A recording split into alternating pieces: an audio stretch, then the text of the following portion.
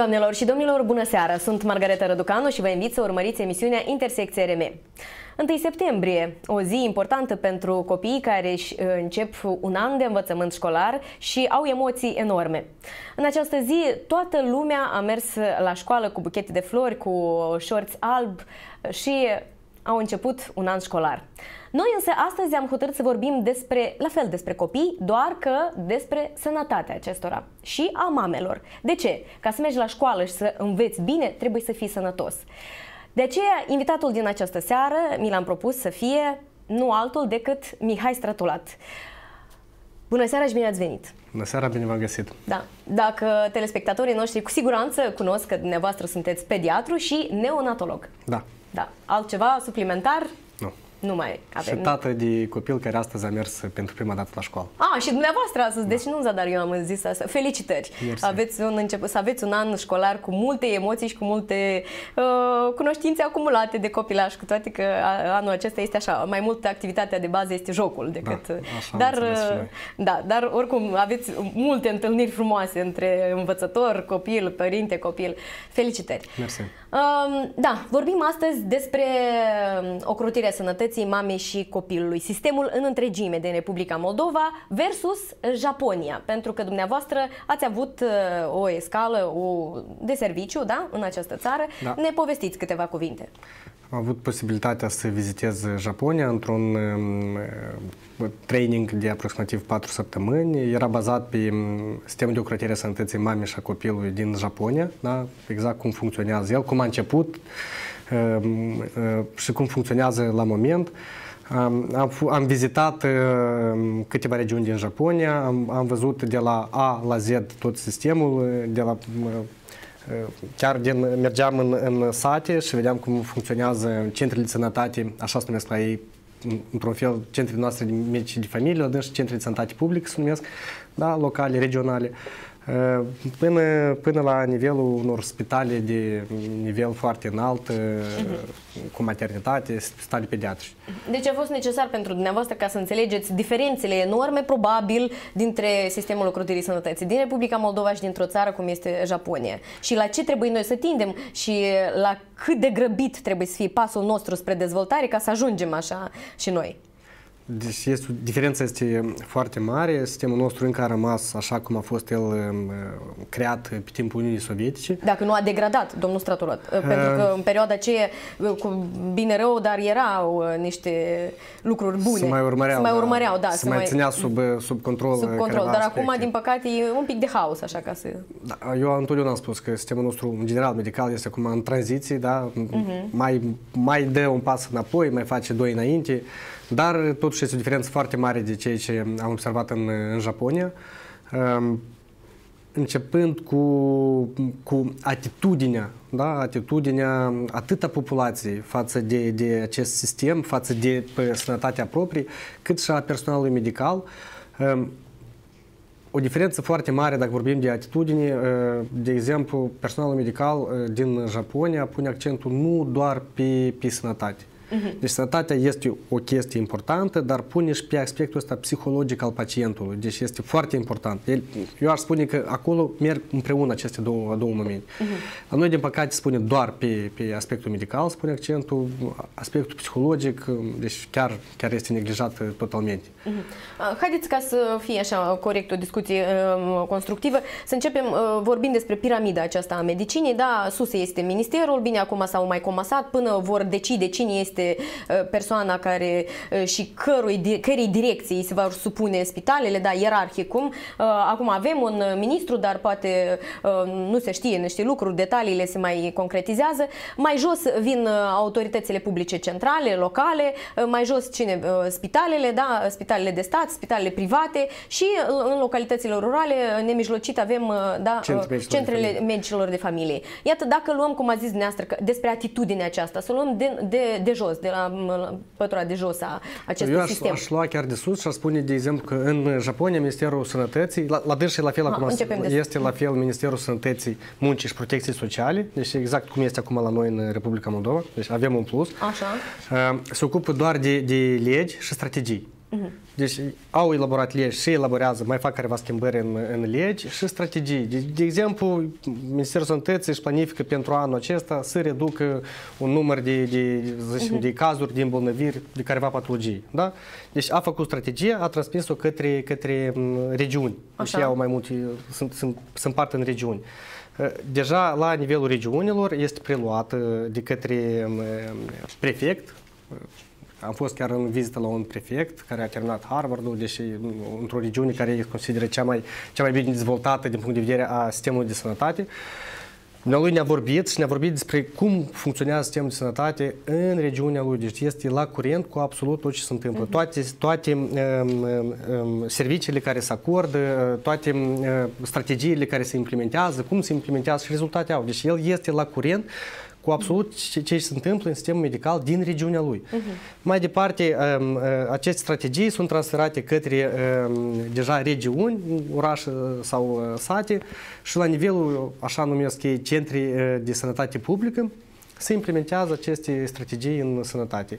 Fiecare regiune în modul său. Sunt careva care se repetă la toți, dar fiecare își elaborează, se gândesc tot felul de, de chestii uh, care ar putea să le implementeze ca de să crească nivelul de sănătate sau uh, uh, longevitatea uh, Deci dacă vorbim, vorbim despre direcția de sus în jos și de jos în sus. Ceea ce la noi de jos în sus nu prea este. Și de jos în sus nu este. Da, da nu este. Din ce cauză? Pentru că la noi uh, se, se așteaptă ce? Ca să se rezolve de la deci, minister. La noi, da, la noi problema că întotdeauna noi așteptăm, uh, chiar și la nivelul cel mai de jos, așteptăm de undeva de sus să vină să ne facă, să vină să ne dea, să ne controleze, să ne verifice. Și ceea ce în, în Japonia nu este. Ei sunt foarte responsabili.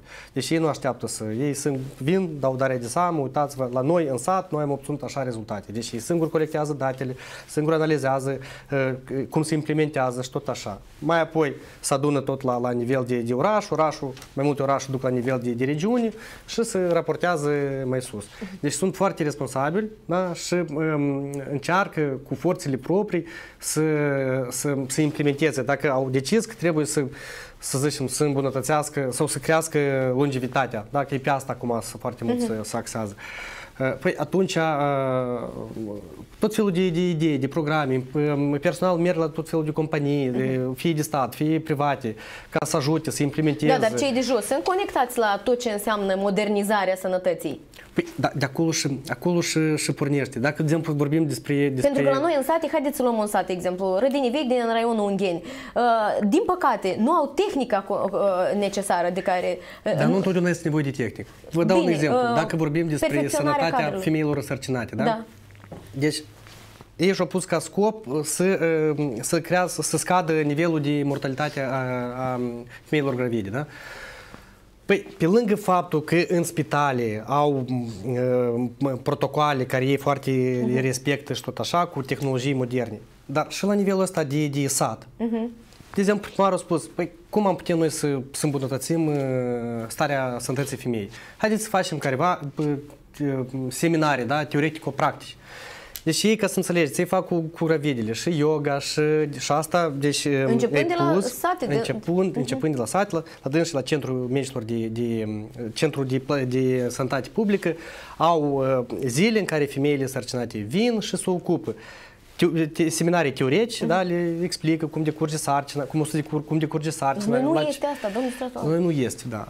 La ce ar trebui să atragă atenția și partea asta practică începând cu, v-am spus, fac yoga, fac tot felul de exerciții. Probabil o informează ce înseamnă o sarcină, o informează ce înseamnă prima Absolut. zi de, de a copilului nou născut, o informează ce înseamnă alăptare, ce înseamnă lapte matern. Și după ce a născut, iar aceste, aceste uh, traininguri continui mai departe, deja cum să aibă grijă de copil, cum să-l alăpteze, deci mai iau încă câteva după... Noi ce trebuie să facem ca toate lucrurile astea să fie? Pentru că vreau să vă zic că din cauza că aceste lucruri lipsesc, noi în sate, eu nu vreau acum să sperii pe nimeni, dar știu ultimele două cazuri care s-au adresat la mine, uh, te rog Margareta, ajută-mă, eu uh, nu pot să vă explic în sate cât este de delăsat anume informarea aceasta a mamelor tinere cu copii mici, însărcinate. Ajungem la situația când se nasc copii uh, și, Doamne ferește, mai este și o moașă incompetentă competentă bolnave și Centrul Mamei și Copilului, uh, secția reanimare, este plină cu copii născuți în situații grave. Uh, Dar copiii care sunt sănătoși până la urmă, doar că au fost, mamele nu au știut cum să uh, decurgă această perioadă de sarcină și uh, eu nu știu dacă noi avem o statistică îmbucurătoare, este destul de tristă la capitolul Cred că la nivel de sat este complicat, de, pentru că nu în fiecare sat avem, să zicem, medic de familie și nu în fiecare sat avem asistentă medicală, da? ca să, să poată să implementeze. Și așa mergi de familie care sunt supra-solicitați cu, pentru că ei au, au grijă nu doar de femeie însărcinată sau de copii, copil, au grijă și de toți vârstnicii da, și persoanele mai... Da, dar este viitorul nostru. Păi, este viitorul nostru. De ce, de exemplu, uh, la, uh, în Japonia, de femeie sărcinată se ocupă moașa. Uh-huh. Deci până, până să, să ajungă să, să nască, se ocupă moașa. În afară de câteva controle la obstetrical ginecolog care trebuie să meargă femeia sărcinată la ginecolog și careva, uh, câteva controle de ultrasonografie care trebuie să le treacă. În rest, restul activităților sunt ținute de către moș. Dacă vorbim deja de, de, de mamă cu copil, deja după naștere, um, de acest de copil are grijă, um, la dâns se numește asistentă, uh, asistentă de sănătate publică.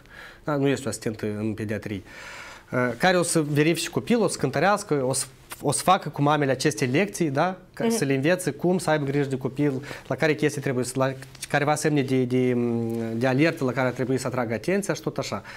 Cred că noi am putea să implementăm chestia la, la nivel de raion. Uh-huh. Da? Să, să numim persoane responsabile și iarăși, eu, de exemplu, că noi, bine, după ce am finalizat aceste patru săptămâni, japonezii sunt foarte așa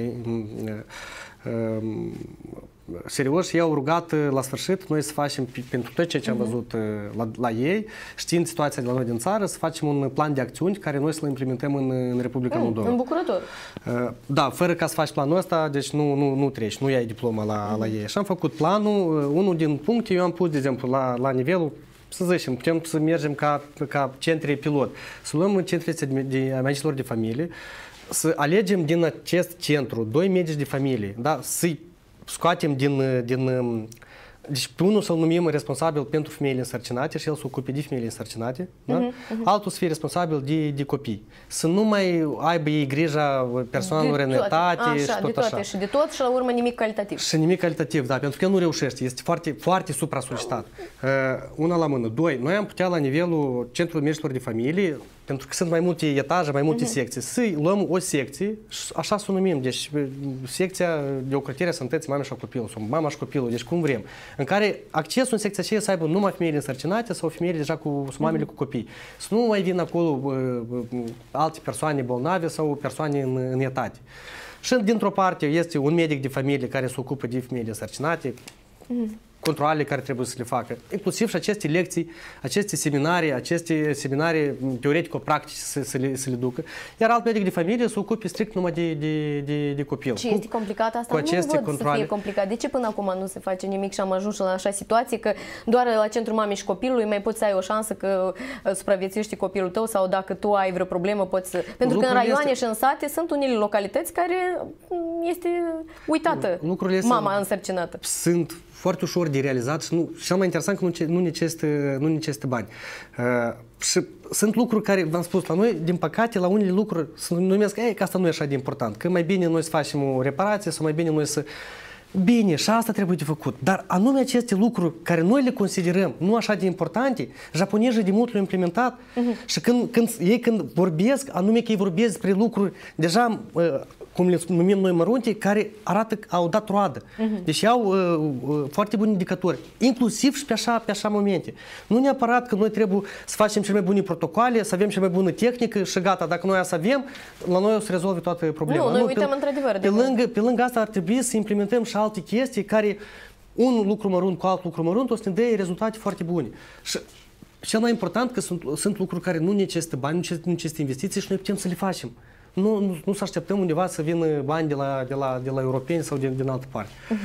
Da, ă, și lucrurile astea, cum ați spus și înainte de emisiune, țin de fiecare de noi în parte și dacă vom începe de la noi înșine, ă, încetul cu încetul putem să de mișcăm. De exemplu, ă, așa chestii în Japonia, după al doilea război mondial, au început nu de la, de la guvern să vină tot felul de idei, haideți, uh-huh. inițiative, să facem așa sau așa.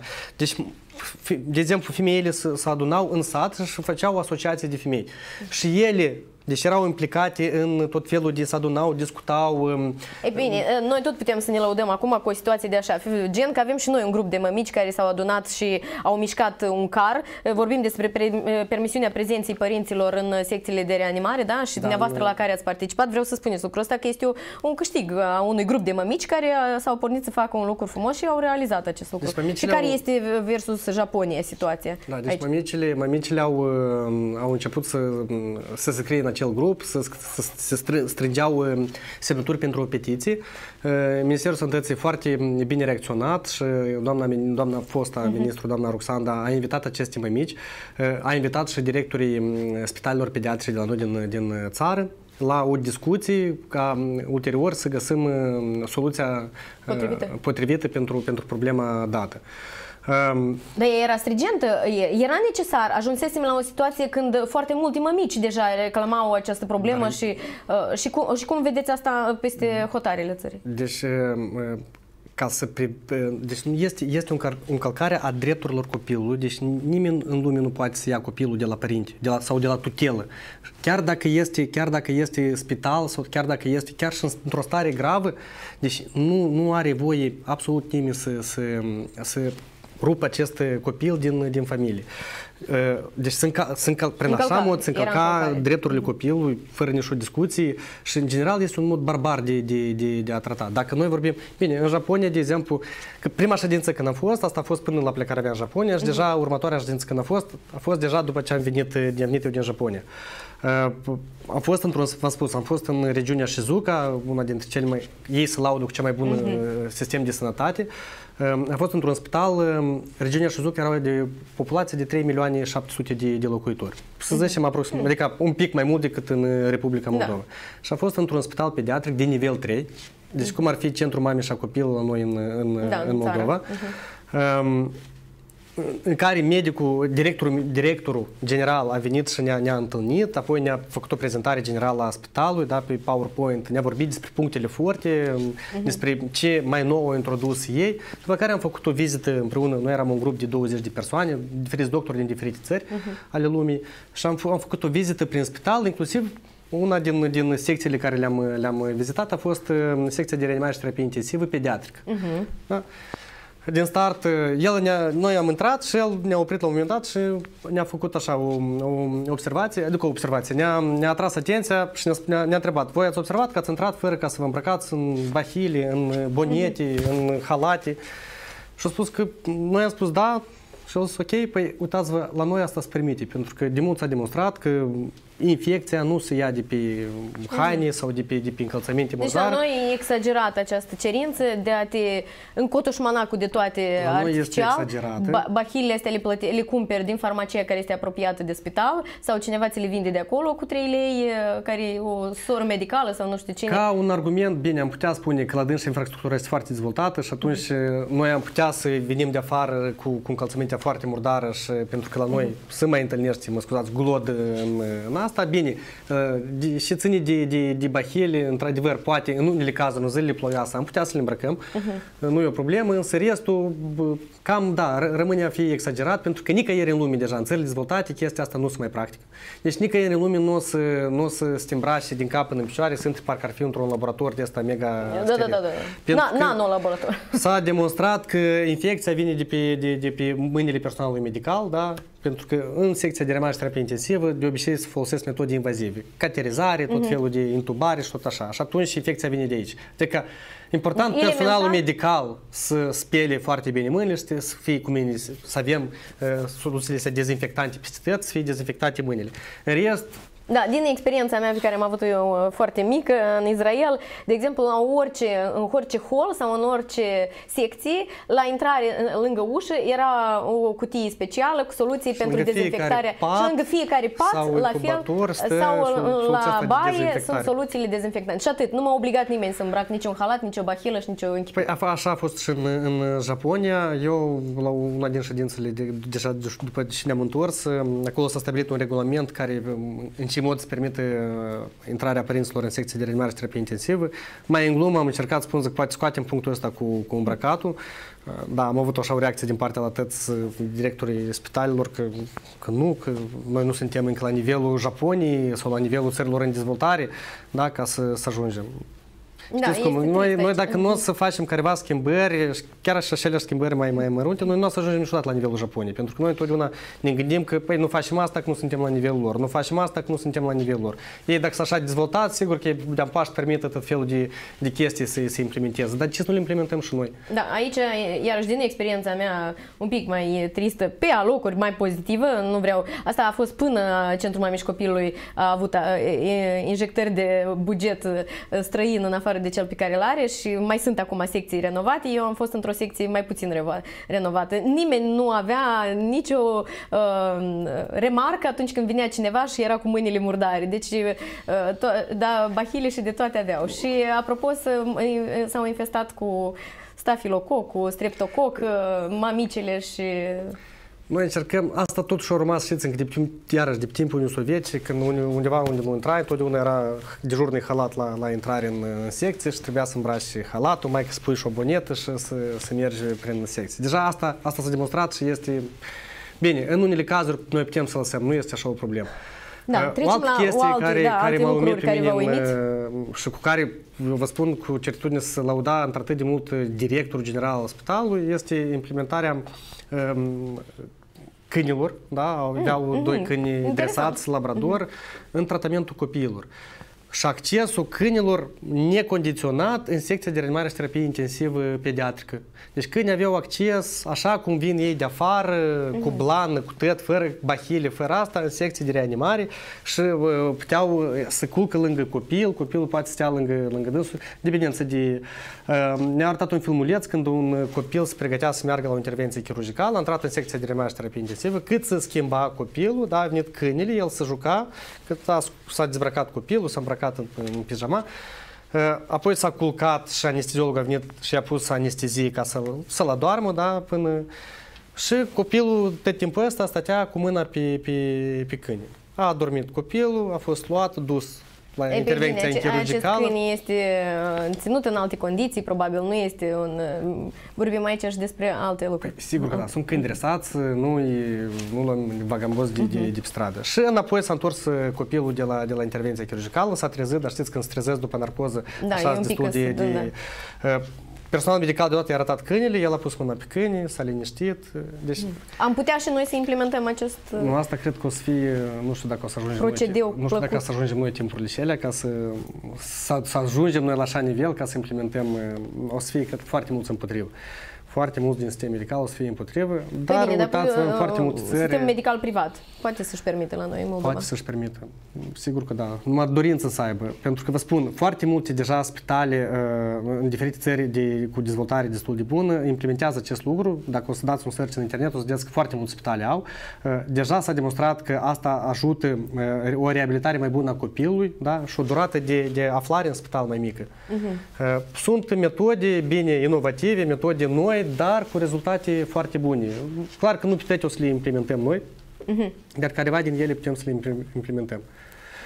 Uh, bine, dacă vorbim despre legea noastră a ocrotirii sănătății, uh, nu putem să spunem că este o lege uh, rea. Este una bună, dar care ar trebui să fie respectată și, cum ați spus dumneavoastră, să nu așteptăm ca Ministerul Sănătății să ne facă ceva, dar să înceapă să lucreze și oamenii de rând sau spitalele, centrele de medicilor și familiei. Aici vreau să vorbim și despre utilizarea realizărilor științei sau ce se întâmplă în medicina noastră, în știință.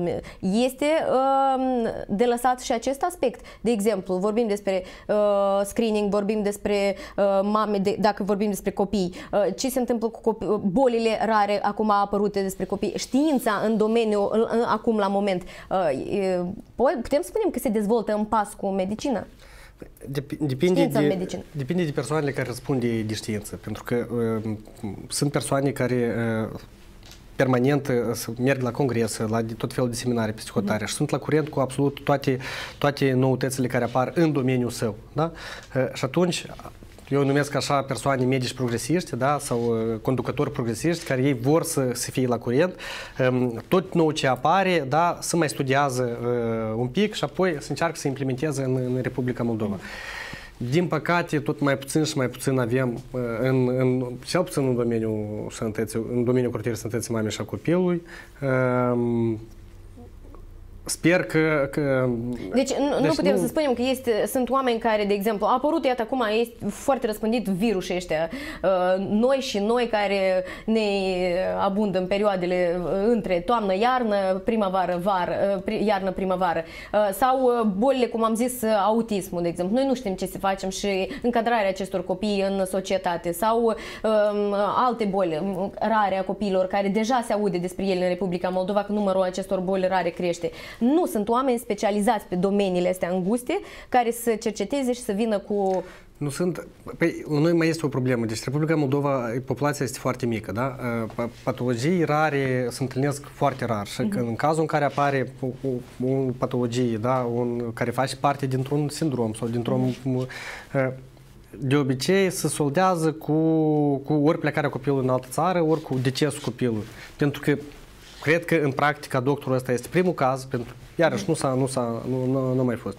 Și atunci uh, până se cercetează, până să asta, se pierde, se pierde timp. În Japonia lucrurile astea sunt altfel? În Japonia este altfel, deși sunt uh, și populația este cu mult mai mare, da, și um, deși sunt la curent cu toate, cu toate uh, bolile nou, nou apărute, da, ei sunt, deși întotdeauna sunt în cercetare, sunt la alt nivel.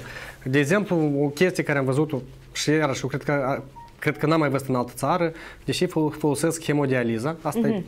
știți că copiii da. care cu, cu, cu sau mat, maturii care au probleme cu rinichii, mm-hmm. deoarece nu lucrează rinichii, se face o hemodializă, curăță sânge pentru un aparat. Deci eu pentru prima dată am văzut uh, chestia asta că se, se aplică la nou născuți în, în Japonia. Deci nu am văzut în, și în alte spitale în care am fost, chiar și în Statele Unite, și în, și în, în Germania și în Elveția am fost, deci nu am văzut. Uh-huh. Cred că ei sunt primii care implementează acest lucru la nou născuți. Uh-huh. Da? Um, o chestie așa și am înțeles că dă de rezultate, da? Ei sunt uh-huh. foarte mulțumiți de, de rezultatele care se, se obțin. Întotdeauna sunt țări în care să, să fac careva cercetări, să implementează lucruri noi și de acolo să răspândesc către țările, inclusiv către Republica, Republica Moldova. Moldova. Important e pentru noi că să preluăm această practică și să încercăm noi să o implementăm. Uh-huh. Să nu mergem, să nu mergem așa cum am mers 5 ani în urmă, să încercăm să, să progresăm. Uh-huh. Uh, dacă iată, noi am mai vorbit la începutul emisiunii despre faptul că um, utilajul medical la noi în unele spitale este achiziționat și este super nou, super modern, dar uh, din păcate uh, personalul medical nu este școlit cum trebuie ca să înțeleagă și să citească acest utilaj medical. Aici, la acest aspect, în Japonia, cum se lucrează, cum este mecanismul, ce se întâmplă, cine este responsabil ca acești medici sau um, asistenți medicali să știe cum se lucrează cu utilajul? Deci, în primul rând, la dâns sistemul, dacă vorbim de spitale... Pentru că am rămas cu medici dacă, înapoiați da. unii și el vii la el și el nu știe ce să facă cu acest aparat. Păi de asta în Japonia nu-ți cumpără un aparat și se duci într-un spital unde... La dâns și spitale sunt regionalizate. Vă, vă explic, la noi, de exemplu, regionalizarea este, tot este Republica Moldova, dar numai a maternităților. Uh-huh. Deci noi avem maternitate de nivelul 3, cum este Centrul Mamei da, și Copilului, avem undeva 11 maternități de nivelul 2 și avem restul maternităților sunt de nivelul 3. Uh-huh. Ce presupune asta? Dotarea tehnică în dependență de, de nivelul de spitalului. De exemplu, Centrul Mamei și Copilului este dotat cu tot echipamentul necesar, uh-huh. da? Poate nu chiar de ultimă generație, sunt careva care am mai putea să le procurăm și să le implementăm, în, dar sunt costisitoare sau întreținerea lor este costisitoare. Uh, maternități de nivelul 2 au mai puțin echipament și de nivel 3, de nivel 1, practic, uh, așa, numai de, pentru că la nivelul 1 o să nască doar copii cu, la termen și uh-huh. mama care a avut o sarcină fără patologii. Uh-huh. Și atunci nu este nevoie, nu este nevoie să cumpărăm un utilaj foarte scump, să-l ducem acolo, care nu o să fie folosit niciodată. Uh-huh. Sau dacă o să fie folosit odată și iarăși nu o să știi cum să folosească. Uh-huh. Pentru că dacă folosești un utilaj medical odată în, într-un an, uh, pierzi eficacitatea da.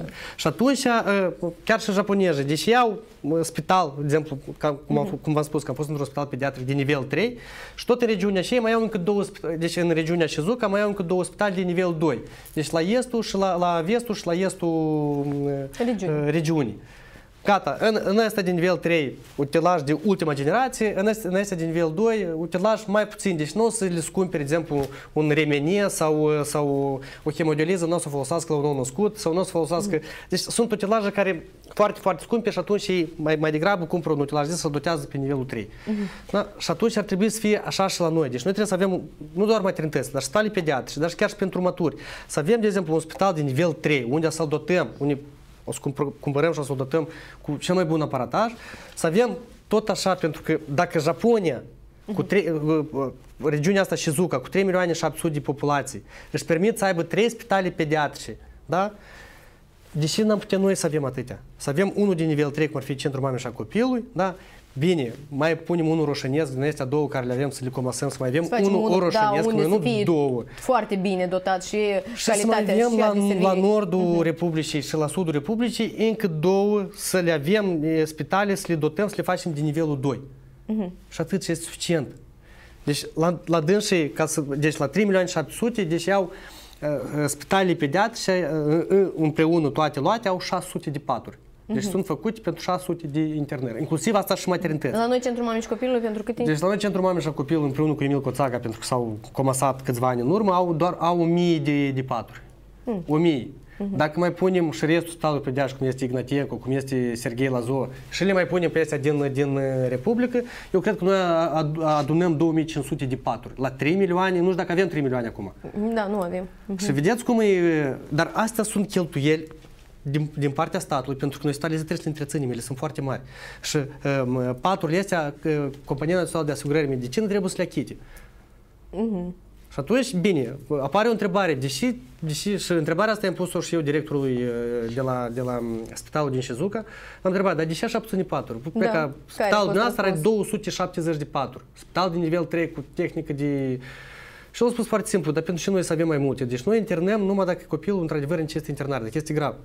Dacă copilul nu necesită internare, el tratează acasă.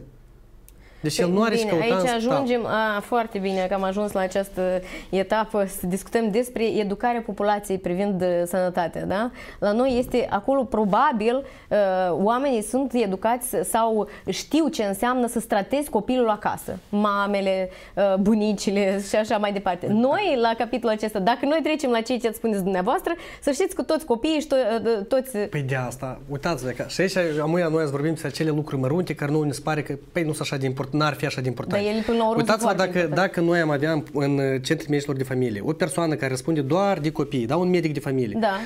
Ideal ar fi să fie un pediatru, dar noi nu avem suficienți pediatri în Republică ca să, să-i punem în toate centrele medicilor de familie. Dacă am avea un medic de familie sau un pediatru care ar, ar răspunde numai de copii, da? atunci el ar reuși, ar reuși să vorbească inclusiv cu mamele să le mhm. explice când trebuie să adreseze la medic, când trebuie să vină mai întâi la dânsul și el o să vadă și o să hotărască este nevoie de spitalizare sau nu este nevoie de spitalizare. Înțelegeți? Uh-huh. Alt lucru care ca, ca ar, acest ar medic funcționa informarea acestui părinte. Ca acest uh-huh. medic să fie mai liber, eu când am spus la japonezi că la noi copilul în primul an de viață face 11 consultații obligatorii la medicul de familie. Și pe lângă asta, încă vreo 12 la alți specialiști, cum ar fi ortoped, neurolog. Eu rămas cu gura cascat. Deci, la dânsii, copilul după naștere, la o lună vine, vine moașa și când trăiește copilul, mai vorbește cu mama mm-hmm. acasă, vine la domiciliu. Ei, pe urmă, la, la două luni, vine iarăși la centrul de sănătate publică și cântărește copilul, Deja la, la două luni după asta ei merg la, la medicul pediatru pentru că urmează să fie vaccinat copilul și merge înainte de fiecare vaccinare, la două, la patru, la șase. Mai vine odată la moașă, la vârsta de 10 luni, ca moașa să observe, a, vine la, la 4 luni când vine, la, vine și la moașă, ca moașa să vadă dacă ține bine capul sau nu copilul. Așa. Mai vine odată la 10 luni. În perioadele importante. Mai vine odată la 10 luni ca să vadă că copilul deja stă în picioare, de, de sine stătător Următorul este la un an jumate și la trei ani. Gata, sunt toate controlele care le treci. Și uitați-vă câte din trânsele, în mare parte sunt la, la moașă și la asistenta de da. sănătate publică. Corect. Și doar astea trei sau patru care merg înainte de vaccin la, la pediatru. Și atât. Dar totuși există când moașa în primele zile se duce la, la copil Da, acasă. ei au în prima lună de, Prima de, lună. de viață. La Și noi asta uitați-vă- nu există deloc. Nu, asta este. Este? Deci se duce medic de familie, se duce cu asistenta, se duce În perioada primele sovietică zile. mama mi-a zis că nu numai o dată se ducea, se duceau foarte des Nu, și acum, verificau. acum e important, d- după ce ajunge copilul acasă, în următoarele două, trei zile, medicul de familie să meargă să, să vadă copilul. Da, dar eu aș întreba toate mămicile. La mine, de exemplu, n-a fost nimeni. E, sunt uh, cazuri, dar de obicei să, să merge, să este pus Mie obligatoriu. mi interesant și- chiar să facem și- un sondaj pe grupul mămicilor. De câte ori a venit uh, moașa sau asist- cine vine la noi? Medicul de familie? Medicul de familie. Medicul Sau de asistenta familie medicală, sau poate asistenta să- medical. De câte ori a fost la dumneavoastră acasă în prima lună da, de viața copilului și v-a verificat uh, uh, în ce condiții da, se află copilul, da, care este Starea starea lui de sănătății după- sănătate. după maternitate, După da. maternitate. Chiar mi-e foarte interesant. Și uitați-vă, deci dacă noi am scoate atâtea controle, Mhm. Deci am pune nu la în fiecare lună să meargă, dar dați să le reduce numărul ăsta de controle, pentru că Da, dar în, aici vreau să anticipez. Până la această, până la naștere, mămicile știu ce înseamnă un copil mic, știu ce înseamnă, Păi- care sunt primele simptome de viroză, de răceală, de o simplă temperatură. Păi de, de asta simplu... spun, Că noi eu dacă o îmi să imaginez reducem- câte vizite aveți dumneavoastră numai. Uitați-vă în cum prima sunt ele lună de legate, viață. cum sunt legate între dânsele. Să reducem numărul de vizite obligatorii a unui copil în primul an de viață către medic. Medicul o să aibă mai mult timp. Timp care el poate să le folosească în educarea mamei. Da? În acele seminarii în care el o să adună toate mamei și o să Dumneavoastră v-ați vorbească cu pierdut, v-ați dânsele. pierdut timpul din viața personală câți ani? Câți, câți ani ați avut pagina aceea pe Facebook care ați... Doi ani. Doi ani și, da? Eu mi imaginez că nu ați dormit 24 din 24, uh, tapând și scriind uh, toate uh, Și am rezultate, recomandările și am dumneavoastră. rezultate foarte bune. Am mame educate, am mame care, care cunosc și cunosc Așa, destul de dar bine. până a venit dumneavoastră în ajutorul mămicilor, ce se întâmpla? Mămicile nu Păi era, știau, da. nu știau Din nimic. păcate nu se reușește. Pentru că medicul de familie nu are timp. El, într-adevăr, este supra-solicitat. El, pe lângă femei însărcinate, copii, ă, bătrânei, alții care, care s- sunt bolnavi, deci el nu are timp, el mai are încă să scrie tot felul de rapoarte și nu știu mai cum. Este supra-solicitat. Deci noi trebuie să facem, să luăm un medic de familie sau dacă pe viitor un pediatru și să ocupe strict numai de, de, de copil, să reducem numărul ăsta de vizite obligatorii, da? să le punem cheie când, într-adevăr, nu trebuie să, să, să vină copilul și să urmărim ca să nu scăpăm uh, careva momente. Pentru că, iarăși, paradoxal, atâtea vizite duce ca copilul să fie mai bolnav.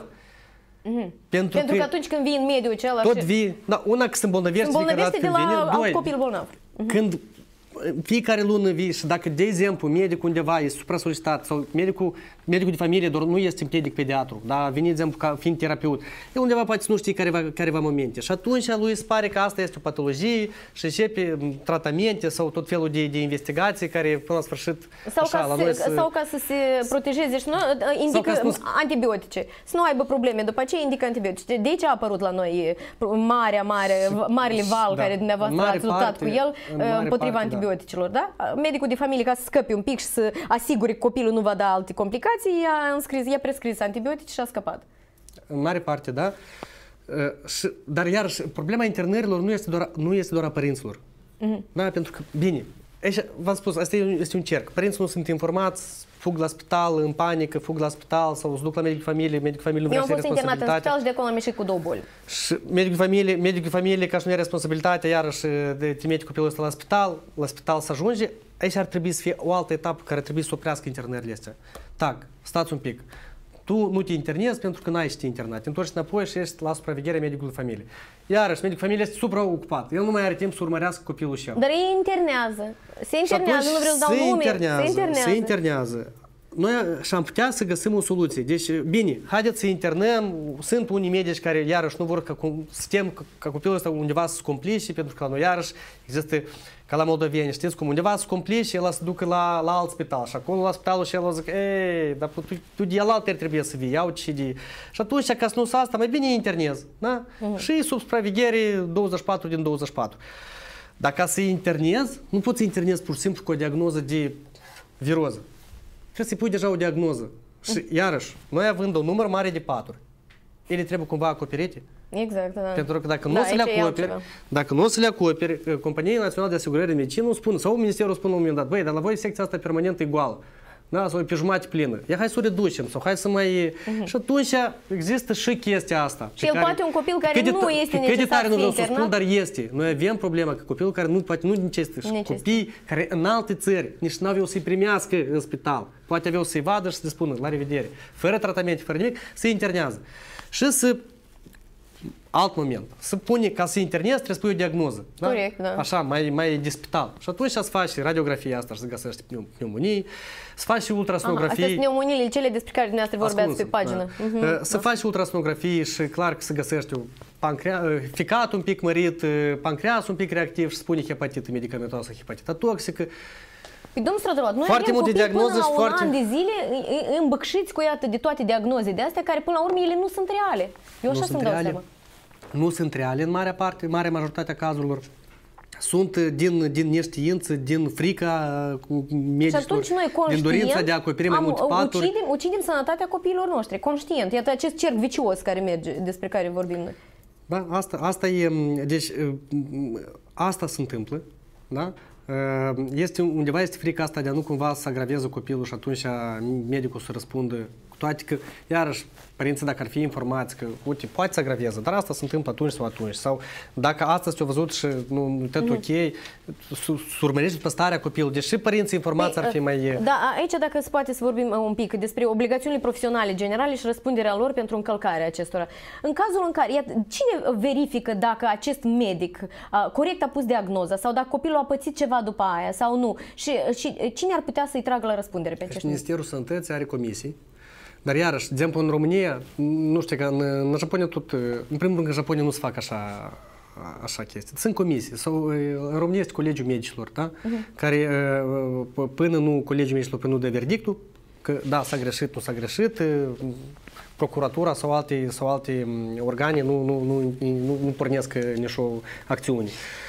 La noi, bine, este comisia, comisia de specialitate la Ministerul Sănătății, care în cazul în care a apărut o plângere sau a apărut mm-hmm. o problemă, deci comisia investigează situația.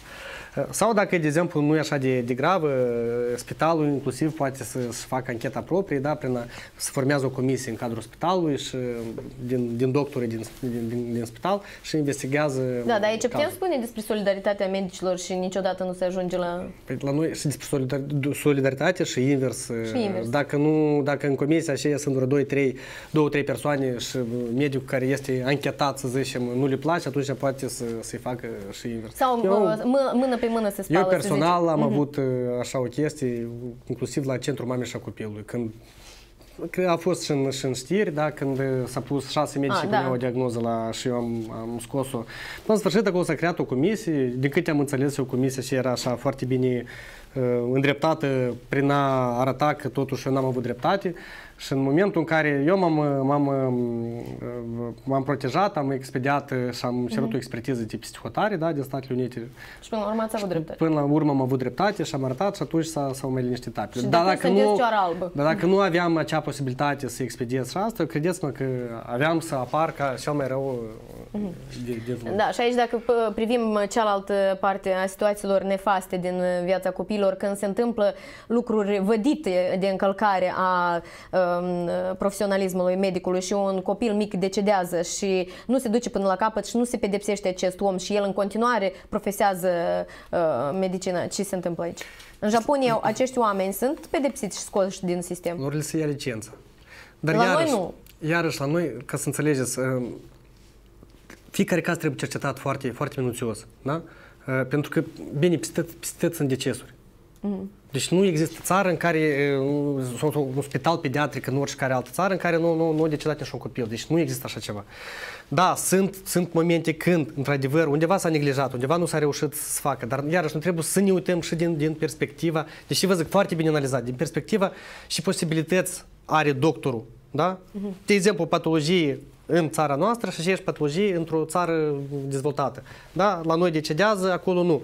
Și posibilități are acel doctor de a investiga, de a face analiz, de, de laboratoriu și îi permite, și um, aparataj medical de care are. Și, și posibilități avem noi aici. Doar nu, chiar, și, chiar și în spital de nivel 3, cum ar fi Centrul Mamei și a Copilului, nu poți face toate investigațiile de laborator. Bine, de acum eu poziționându-mă, poziționându-mă în tabăra mamei, mamelor, a părinților și în situații de acest gen, uh, părintele vrea adevărul, părintele vrea să... Uh, noi putem să ajungem la situația când niciodată nu poți să pedepsești niciun medic, că el niciodată nu poate să fie vinovat? Nu, deși. Și sunt cazuri deja când, când medici sunt pedepsiți, da, sunt care fac și închisoare. La noi Moldova? La noi Republica Moldova. Da, cu, cu adevăratele, pe Cu bune adevărat sau... uh, faceți- Nu, pe bune a fost de vină, a fost a purtat o vină sau a fost... uh, Că la Bine, eu noi... n-am studiat cazul până la capăt, dar din câte am înțeles, da, a fost o neglijență destul de, de, de serioasă și asta a fost repetată. Prima dată, uh, prima dată a, a, a trecut, cu toate că tot a fost în judecată și i s-a dat, um, știți cum, să dă ani, dar nu să... Și a doua oară, deja, într-o perioadă foarte scurtă, sunt care fac, sunt care le s-a luat licența, sunt care plătesc, sunt medici care plătesc acum despăgubiri morale părinților. Dar fiecare caz trebuie cercetat. Sunt, sunt multe cazuri când și iarăși de, de, de văzut. E, e complicat. Uh, Vreau neapărat să-mi spuneți despre acest uh, aspect care l-am discutat și până la emisiune, privind uh, schimbarea acum a orientării de a pune intra, uh, intramuscular uh, da, copiilor Injecții. injecții și- sau uh, prin Asta e o uh, altă- cateter. E, o altă- Ce este în Japonia la acest capitol și la În noi? Japonia, injecții Pentru că intramus- acum, cu copilul meu fiind deja 2 ani și 8 luni, foarte des m-am confruntat cu situația că medicul zice uh, cu ajutorul cateterului trebuie să vă introducem o su- substanță medicală sau alta. Dar unii acceptă și intramuscular. Care e aici? Deci în Japonia um, intramuscular se introduc uh, unele vaccine și unele medicamente care nu există sau nu, nu sunt în formă de, de a introduce intravenos, dar doar intramuscular se introduce. În restul, de exemplu, dacă noi vorbim despre antibiotice care foarte des folosesc la noi, deci în Japonia se introduc în formă de, de cateter, prin cateter intra, intravenos. La noi, din păcate, în uh, foarte multe spitale, majoritatea spitalelor se introduce intramuscular. Uh, Deja, peste tot în lume, se consideră, deja și la maturi încearcă să scoată um, antibioticele astea, pr- metoda asta de introducere intramusculară, pentru că una că este una dureroasă, da? Și vedeți cum peste hotare deja și la maturi încearcă să lucreze ca el, fiind în spital, să se simtă confortabil, da? Să nu aibă durerea asta, să nu simtă durerea asta. Nemai vorbind la, nemai mai vorbind la copii, deci sunt foarte multe protocoale de combatere a durerii la copil. Deci, la dâns și e foarte important copilul, aflându-se în spital, să nu sufere. Și să nu aibă ni- nici o suferință, sau minim, la, la maxim să, să reducă acest... Contează acest moment. calitatea cateterului. Contează calitatea cateterului și contează uh, modul în care, cât este de, de Din punct de vedere instruit, practic, este instruit, instruit asistentul. asistenta, asistenta medicală. Dacă uh, La noi, din noi păcate, sunt asistente care nu prea știu ce înseamnă Nu să prea știu, introduci. pentru că ele de, de, de la început doar intramuscular au pus și cateterul... Bine, sunt și momente în care mai- mai greu poți pui un cateter la copil, depinde de starea copilului și foarte Copilul multe de la chestii. nou născut până la un an, uh, preferabil cu cateteră și nu intramuscular. intravenos. Ca- categoric. Da, absolut. Intraveno, intramuscular este foarte dureros. Deci un antibiotic intramuscular este foarte dureros pentru matur, pentru copil cu atât mai mult. Ce încă v-a impresionat că suntem pe final de emisiune și considerați că la noi uh, ar trebui necesar să, se, să fie schimbat cât mai urgent? Deci, în primul rând, mentalitatea oamenilor. Deci, bă, acolo altfel gândesc. Deci, ei, nu, ei niciodată nu se gândesc că, um, dacă vorbim în spitale, deci medicul se gândește să-și facă corect me- meseria, da?